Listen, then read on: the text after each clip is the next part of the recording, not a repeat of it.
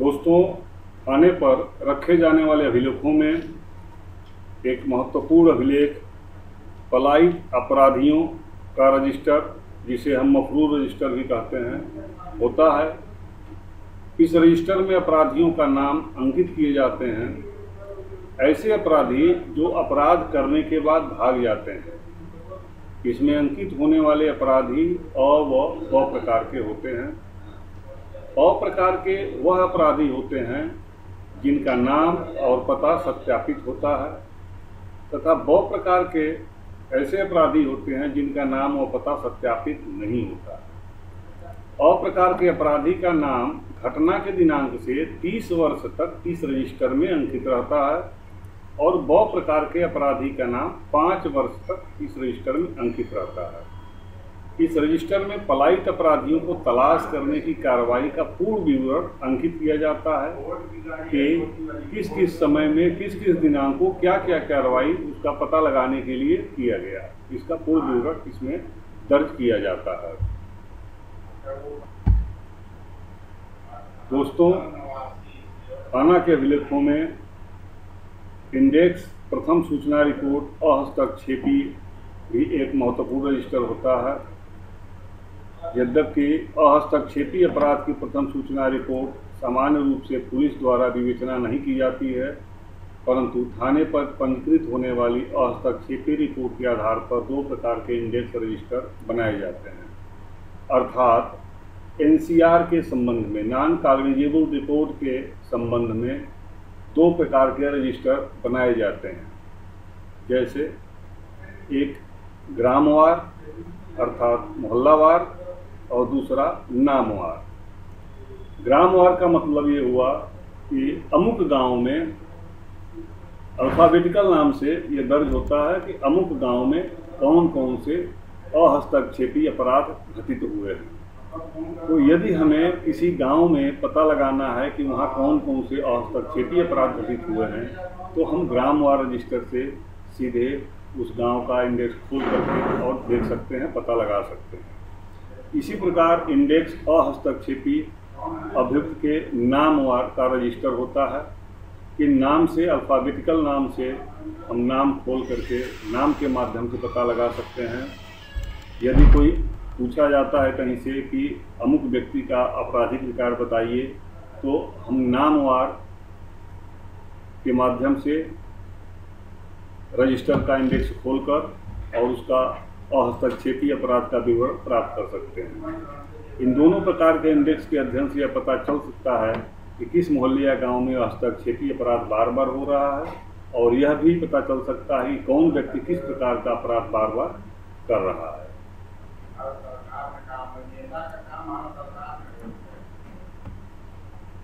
इसी प्रकार क्रियाशील अपराधियों का रजिस्टर भी महत्वपूर्ण रजिस्टर है। इस रजिस्टर में थाना पुलिस द्वारा उन अपराधियों के नाम क्षेत्राधिकारी से अनुमोदन उपरांत अंकित किए जाते हैं, जो अपराध में सक्रिय होते हैं। वर्ष भर में उनके विरुद्ध पंजीकृत अपराधों का विवरण इस रजिस्टर में उनके नाम वाले पृष्ठ भाग पर अंकित किया जाता है। थानाध्यक्ष इस रजिस्टर को देखकर यह अनुमान भली भांति लगा सकते हैं कि उस व्यक्ति की अपराध में सक्रियता रही है या नहीं रही है। अगला महत्वपूर्ण रजिस्टर है बीट इंफॉर्मेशन रजिस्टर। प्रत्येक शहरी थाना चौकियों थाना चौकियों में बटा होता है तथा चौकियाँ बीट में बटी होती हैं और ग्रामीण क्षेत्र के थाने बीट में बटे होते हैं। दोनों प्रकार के थानों में थाना क्षेत्र से प्राप्त होने वाली अपराध व अपराधियों से संबंधित सूचनाओं का एक रजिस्टर रखा जाता है। इस रजिस्टर में अंकित सूचनाओं में जांचोपरांत आवश्यकता अनुसार रोकथाम की कार्रवाई करके अपराध नियंत्रण किया जा सकता है। यदि सूचनाएँ प्राप्त नहीं हुई तो इस ओर ध्यान देना की आवश्यकता होती है कि इनकी सूचनाओं के अभाव में अपराध के रोकथाम की कार्रवाई करने में कठिनाई हो सकती है। पुलिस की सफलता इस बात पर निर्भर है कि उसको घटना से पूर्व सूचना प्राप्त हो जाए और वह समय रहते निरोधात्मक कार्रवाई करके अपराध पर नियंत्रण कर सके।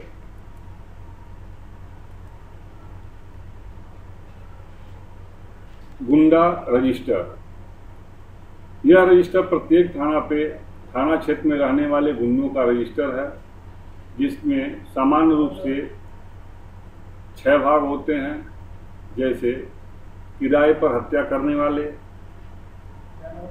दबा कर अर्थात ज़बरदस्ती पैसा वसूलने वाले चाकू मारने वाले, सांप्रदायिक गुंडे महिलाओं के साथ छेड़खानी करने वाले, तथा शराब पीकर गाली गलौज व उत्पात करने वाले। इस रजिस्टर के अध्ययन से यह ज्ञात हो जाता है कि कौन गुंडा व्यक्ति ऐसा है जिसको 110 दंड प्रक्रिया संहिता में पाबंद कराने की आवश्यकता है, अथवा गुंडा एक्ट के अंतर्गत जनपद से निष्कासित करने की आवश्यकता है। दर्ज सूचनाओं के आधार पर ही कार्रवाई की जा सकती है और उनकी आपराधिक गतिविधियों पर नियंत्रण लगाया जा सकता है।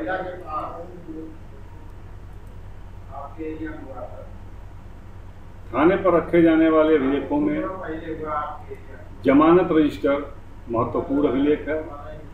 इस रजिस्टर में विभिन्न अपराधों में पकड़े गए अभियुक्तों की जमानत होने की तिथि का उल्लेख रहता है इस रजिस्टर के अध्ययन से यह भी पता चल सकता है कि कितने अपराधी गिरफ्तारी के बाद जमानत पर छूट कर वापस आ गए हैं। यदि यह रजिस्टर ठीक प्रकार से न रखा जाए तो थाना पुलिस इस भ्रम में रहेगी कि उनके द्वारा पकड़े गए अपराधी जेल में हैं, जबकि वह अपराधी जमानत पर रहकर अपराध में लगे हों, हो सकते हैं। अगर रजिस्टर ठीक है तो उनकी आपराधिक गतिविधियों पर दृष्टि रखी जा सकती है, तथा आवश्यकता अनुसार कार्यवाही की जा सकती है। त्यौहार रजिस्टर। यह अत्यंत ही महत्वपूर्ण रजिस्टर होता है। प्रत्येक त्यौहार पर थाने की पुलिस द्वारा क्षेत्र में शांति बनाए रखने हेतु ड्यूटी लगाई जाती है और त्यौहार समाप्ति के पश्चात उसका एक नोट त्यौहार रजिस्टर में लगाया जाता है। त्यौहार का नोट थानाध्यक्ष को स्वयं लिखना चाहिए और अपने क्षेत्राधिकारी के अनुमोदित करा लेना चाहिए। त्यौहार रजिस्टर में जो भी नोट लगाया जाता है, वह आने वाले समय में पुलिस के लिए मार्गदर्शन का काम करता है। अतः नोट विस्तार से लिखा जाए ताकि भविष्य में पुलिस सचेत रहकर पूर्व सावधानी रख सके और अप्रिय घटना न होने पाए। जैसे, त्यौहार कब से कब तक मनाया गया कुल कितना पुलिस बल नियुक्त किया गया? बाहर से कितना पुलिस पुलिस बल प्राप्त हुआ? ड्यूटी के लिए संवेदनशील स्थान कौन कौन से हैं? कोई समस्या जो सामने आई हो, समस्या का निदान कैसे किया गया? भविष्य के लिए ध्यान में रखने योग्य बिंदु क्या क्या हैं? त्यौहार पर निकाले गए जलूस का रूप अर्थात रास्ता क्या क्या है?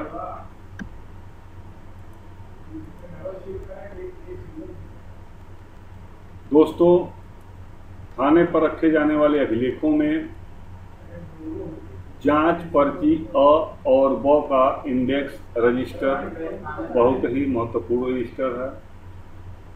थाना पुलिस द्वारा जाँच की पर्ची और हिस्ट्री सीटर के अपने निवास स्थान से किसी अन्य थाना क्षेत्र में जाने पर उसके आवागमन को तस्दीक करने के लिए उठाने को भेजी जाती है। जिस थाना क्षेत्र में वह गया है और फर्द अप्राप्त करने वाले थानाध्यक्ष द्वारा यह तस्दीक किया जाता है कि वह हिस्ट्री सीटर उसके थाना क्षेत्र में आया है या नहीं। इस प्रकार इस फर्म अ के द्वारा हिस्ट्री सीटर की आवागमन पर दृष्टि रखी जाती है और उसकी आपराधिक गतिविधियों पर परोक्ष रूप से नियंत्रण लगाया जाता है। क्योंकि वह जानता है कि उसके आने जाने के बारे में जाँच की जा रही है यदि उसके वहाँ पहुँचना तस्दीक नहीं होता है तो हिस्ट्री सीटर का घर से जाना संदिग्ध माना जाता है और एक नोट उसकी हिस्ट्री सीट में इस आशय पर लगा दिया जाता है और उसकी निगरानी अवधि भी बढ़ाई जाती है। इस प्रकार कार्रवाई भी हिस्ट्री सीटर की गतिविधियों पर अंकुश लगाने में कारगर सिद्ध होती है। इसी प्रकार जब कोई बाहर का व्यक्ति किसी पर्टिकुलर थाना क्षेत्र में आता है तो उसके थाने पे जब किसी थाना क्षेत्र में, उस थाना क्षेत्र के बाहर का व्यक्ति आकर नाश करता है, तथा वह संदिग्ध होता है, तब उसके थाना को जाँच की पर्ची और जिसे बी पर्ची भी कहते हैं, भेजी जाती है। यह व्यक्ति आपके यहाँ का हमारे यहाँ, हमारे थाना क्षेत्र में आके रह रहा है। इसकी गतिविधि क्या है? इसका आपराधिक रिकॉर्ड क्या है? उसके संबंध में पूरी जानकारी की जाती है। और इन दोनों सूचनाओं को अ और ब का इंडेक्स रजिस्टर में अंकित किया जाता है।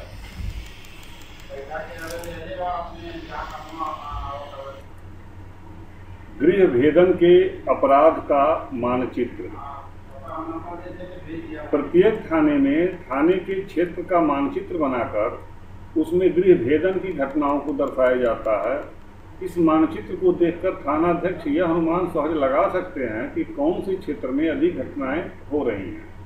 और उसकी रोकथाम के लिए गश्त गाड़ाबंदी व निगरानी की कार्रवाई तदनुसार की जाती है। पिछले वर्षों में प्रकाश में आए अपराधियों का रजिस्टर। यह रजिस्टर भी अपराध निरोध के दृष्टिकोण से काफ़ी महत्वपूर्ण होता है। प्रत्येक थाने पर विभिन्न अपराधों में पिछले दस वर्षों में प्रकाश में आए अभियुक्तों का अपराधवार रजिस्टर रखा जाता है। इस रजिस्टर को देखने का उद्देश्य यह है कि यदि किसी अपराध की घटना में अभियुक्त ज्ञात है तो उस प्रकार की पूर्व की घटित घटनाओं में प्रकाश में आए अपराधियों की सूची बनाकर उनसे पूछताछ की जा सकती है और विवेचना को एक नई दिशा दी जा सकती है। प्रचलित झगड़े के प्रकरणों का रजिस्टर। यह रजिस्टर प्रत्येक थाने पर इसलिए रखा जाता है ताकि क्षेत्र के प्रचलित प्रकरणों में झगड़ों के बारे में इसमें सूचना अंकित कराई जाए। एवं समय रहते उसको रोकने की कार्रवाई की जाए। यदि इस प्रकार के प्रकरण में तत्परता से कार्रवाई की जाए तो बहुत से मामलों में गंभीर अपराध होने से रोका जा सकता है। अगला महत्वपूर्ण रजिस्टर है राजनैतिक पार्टियों का रजिस्टर। प्रत्येक थाना क्षेत्र में विभिन्न राजनीतिक पार्टियों के पदाधिकारी व सदस्य निवास करते हैं। यद्यपि राजनीतिक पार्टियों के पदाधिकारी जनता का एक प्रतिनिधित्व करते हैं, परंतु यदा कदा पुलिस को कतिपय राजनीतिक पार्टियों के पदाधिकारियों और सदस्यों के विरुद्ध शांति व्यवस्था बनाए रखने के लिए कार्रवाई करनी पड़ सकती है। इस रजिस्टर में पार्टी पदाधिकारियों, उनके मुख्य मुख्य सदस्यों, पार्टी कार्यालय का स्थान और टेलीफोन नंबर आदि की विवरण अंकित किया जाना चाहिए। राजनीतिक पार्टियों के सूचना का रजिस्टर। इस रजिस्टर में विभिन्न राजनीतिक पार्टियों के थाना क्षेत्र में समय समय पर होने वाली गतिविधियों का विवरण तिथिवार अंकित किया जाता है और इसी आधार पर स्थानीय सूचना इकाई को थानाध्यक्ष द्वारा साप्ताहिक को डायरी प्रेषित की जाती है। इन्हीं सूचनाओं के आधार पर राजनीतिक पार्टियों के भविष्य में होने वाले आंदोलन, जलसा एवं जुलूस और प्रदर्शन आदि का समुचित प्रबंध किया जा सकता है। अथवा उनकी गतिविधियों को नियंत्रित करने के लिए रोकथाम की कार्रवाई की जाती है, जिससे कोई अपनी घटना न हो। गैंग रजिस्टर इस रजिस्टर में डकैतों, पशु चोरों या रेलवे वैगन में चोरी करने वाले संगठित गिरोह को पुलिस अधीक्षक की अनुमति से अंकित किया जाता है। इस रजिस्टर में गिरोह के पंजीकरण का कारण, गिरोह का पूर्व इतिहास और उसकी कार्य पद्धति का विवरण प्रविष्ट किया जाता है। अस्थायी अभिलेख है और पंजीकृत गिरोह को उसमें से कभी नहीं मिटाया जाएगा, परंतु यह निश्चित हो जाने पर कि गिरोह भंग हो गया है। इस गिरोह के संबंध में की जाने वाली जाँच या पूछताछ पुलिस अधीक्षक के आदेश से बंद की जा सकेगी।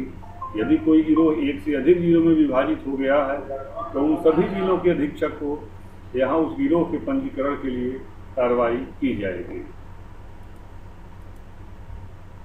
आरोप पत्र रजिस्टर इस रजिस्टर में विवेचना के उपरांत किसी अपराध के अभियुक्त के विरुद्ध आरोप पत्र को विचारण न्यायालय भेजने का उल्लेख होता है। इस रजिस्टर की उपयोगिता अपराध नियंत्रण में समय समय पर प्रतीत होती है। यदि किसी व्यक्ति के विरुद्ध धारा 110 दंड प्रक्रिया संहिता गुंडा एक्ट या गैंगस्टर एक्ट के अंतर्गत कार्रवाई करनी है तो उस व्यक्ति के विरुद्ध न्यायालय में पूर्व में प्रेषित आरोप पत्र का विवरण इस रजिस्टर की प्रतिलिपियों के द्वारा प्रस्तुत किया जा सकता है। शस्त्र रजिस्टर। प्रत्येक थाने पर शस्त्र रजिस्टर रखा जाता है, जिसमें थाना क्षेत्र में रहने वाले शस्त्र धारकों के नाम, पता एवं उनके द्वारा रखे जाने वाले शस्त्र का विवरण अंकित रहता है। इस रजिस्टर का अध्ययन करके थानाध्यक्ष यह निष्कर्ष निकाल सकता है कि कौन कौन से गाँव अथवा मोहल्ले ऐसे हैं इस रजिस्टर से यह निष्कर्ष निकाला जा सकता है कि कौन कौन से गाँव अथवा मोहल्ले ऐसे हैं जहाँ स्वस्थ धारक नहीं है। ऐसे क्षेत्र में गश्त भेजना आवश्यक समझा जाना चाहिए, क्योंकि ऐसे गाँव अथवा मोहल्लों में अपराध होने की आशंका अधिक रहती है। इस प्रकार के गाँव अथवा मोहल्लों में कुछ लोगों को शस्त्र के लाइसेंस दिलवाया जा सकता है, जिससे वह लोग समय रहने पर समय आने पर अपराधियों का मुकाबला कर सकें और अपनी रक्षा कर सकें। शस्त्र धारकों का सहयोग, ग्राम सुरक्षा समिति व मोहल्ला सुरक्षा समिति में रखा जा सकता है।